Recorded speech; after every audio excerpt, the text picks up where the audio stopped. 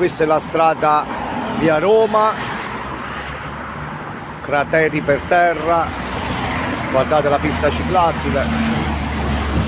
Sassi. Breccia.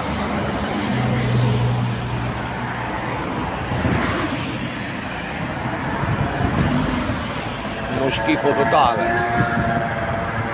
Tutto questo ogni volta che fa un po' di pioggia perché i lavori di asfaltamento sono fatti sempre solo con rappezzi e non fatti come si deve.